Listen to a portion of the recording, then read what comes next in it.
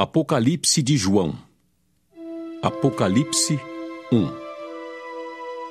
Revelação de Jesus Cristo, que Deus lhe deu para mostrar aos seus servos as coisas que em breve devem acontecer, e que ele, enviando por intermédio do seu anjo, notificou ao seu servo João, o qual atestou a palavra de Deus e o testemunho de Jesus Cristo quanto a tudo o que viu. Bem-aventurados aqueles que leem e aqueles que ouvem as palavras da profecia e guardam as coisas nela escritas, pois o tempo está próximo. João, às sete igrejas que se encontram na Ásia, graça e paz a vós outros, da parte daquele que é, que era e que há de vir, da parte dos sete espíritos que se acham diante do seu trono e da parte de Jesus Cristo, a fiel testemunha, o primogênito dos mortos e o soberano dos reis da terra.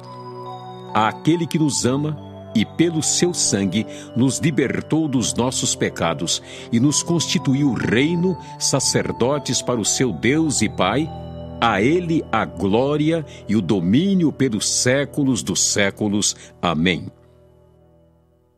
Eis que vem com as nuvens e todo olho verá, até quantos outras passaram. E todas as tribos da terra se lamentarão sobre ele. Certamente. Amém. Eu sou o Alfa e Ômega, diz o Senhor Deus, aquele que é, que era e que há de vir, o Todo-Poderoso.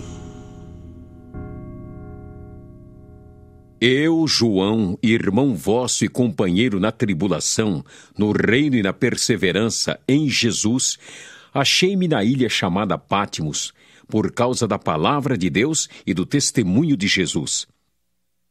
Achei-me em espírito no dia do Senhor e ouvi por detrás de mim grande voz como de trombeta, dizendo: O que vês, escreve em livro e manda às sete igrejas.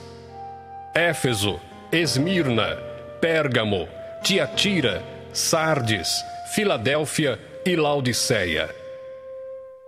Voltei-me para ver quem falava comigo, e voltado, vi sete candeeiros de ouro, e no meio dos candeeiros, um semelhante a filho de homem, com vestes talares e cingido à altura do peito, com uma cinta de ouro.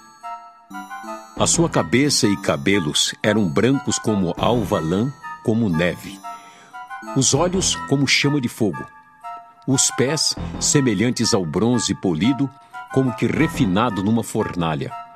A voz como voz de muitas águas.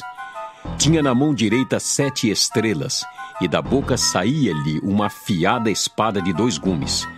O seu rosto brilhava como o sol na sua força quando o vi, caí a seus pés como morto. Porém, ele pôs sobre minha mão direita, dizendo: Não temas. Eu sou o primeiro e o último, e aquele que vive. Estive morto, mas eis que estou vivo pelos séculos dos séculos, e tenho as chaves da morte e do inferno. Escreve, pois, as coisas que viste, e as que são e as que hão de acontecer depois destas. Quanto ao mistério das sete estrelas que viste na minha mão direita, e aos sete candeeiros de ouro. As sete estrelas são os anjos das sete igrejas, e os sete candeeiros são as sete igrejas.